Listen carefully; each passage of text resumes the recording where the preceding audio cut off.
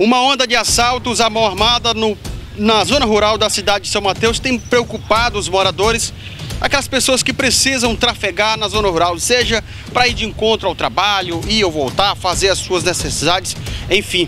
Está preocupante a onda de violência que tem acontecido na nossa zona rural, em especial as características das vítimas que informam que uma dupla de criminosos em uma moto com arma de fogo está aterrorizando a zona rural da cidade de São Mateus.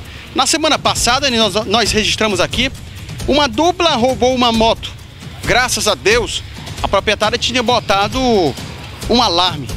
Esse alarme acabou travando e a polícia, junto com a guarda e o DMT, foram lá buscar a moto. E os criminosos, perna.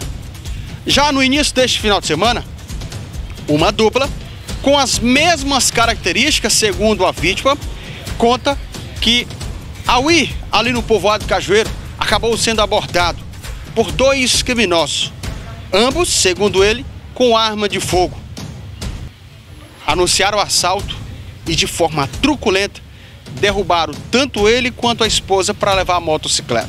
Uma Pop 110 vermelha, essa que você vê nas imagens. Nós ouvimos ele, para manter a sua integridade, e ainda está abalado, nós preferimos não mostrar ele, mas ouvimos e ele conta a respeito dessa triste ação criminosa que tem acontecido na zona rural da cidade de São Mateus. Mas antes, em contrapartida, entramos em contato com o Major Milton e ele deu uma resposta positiva.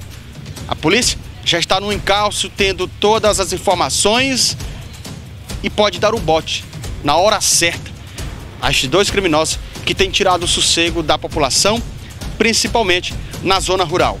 Há quem diga que a zona rural era lugar de sossego. Hoje não. Vamos ouvir essa vítima. Cidadão, conta pra gente como foi essa ação aí. Ontem, por volta de umas 4h50 da tarde, eu estava no povoado a com minha esposa. A gente foi lá no terreno que a gente tem lá, juntar uns trumes, né?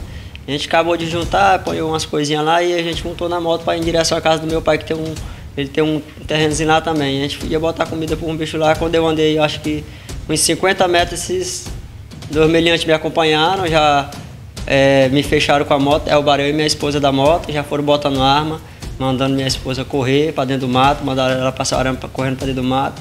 Ficaram me segurando com a arma em cima de mim, e levaram a moto, levaram carteira, documento. Derrubaram você da moto? Derrubaram nós da moto, eu e minha esposa, ela ainda relou o joelho ainda fez a gente entrar, passar um arame que tinha lá, o um mato fechado, ele fez, pode correr dentro do mato que eu vou, eu vou atirar e eu mandando minha esposa correr. Foi uma aflição grande no momento. Você já tinha passado por isso? Já passei outra vez, aqui um, me tomaram outra moto ali no ramal do Piqui, há alguns anos atrás, 10 horas do dia. Eu, é a segunda vez que eu passo por isso. É, todo tempo eles agiram com truculência. Com truculência, muito agressivo, principalmente o, o rapaz que desceu da moto, que era o garupa mais agressivo ainda do que o outro que estava. Eles estavam com arma de fogo?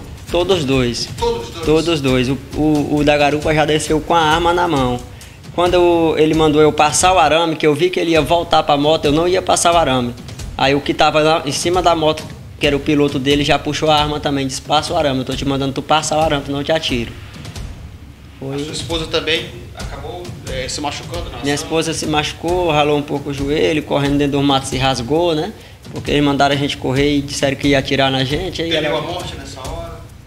Se, a gente sempre teme, mas o temor maior é a minha esposa, né? Que ela já é um pouco nervosa e ela quis passar logo mal no momento. Até que por mim eu, eu, eu a pressão foi grande, mas a gente até sustentando estava muito mais preocupado com ela. Eu mandando ele leva a moto, cara, leva a moto, a gente não quer nada não, tu quer levar a moto, leva a moto. Só deixa a gente quieto, só deixa a gente ele. É uma moto Pop 110? Uma moto Pop 110 vermelha com a placa PSU 0193, ano 2017. Agora você veio registrar a ocorrência, não é? É, registrar o BO agora e já espalhei bastante em grupos aí, tem notícia deles já chegando da cidade de Coroatá e a gente vai em busca para ver se consegue a moto de volta. Para ver se esses vagabundos param com isso, deixa a população viver em paz. O único meio de transporte que eu tinha agora eles levaram. Mas é assim mesmo, a gente agradece ainda por estar com saúde, né?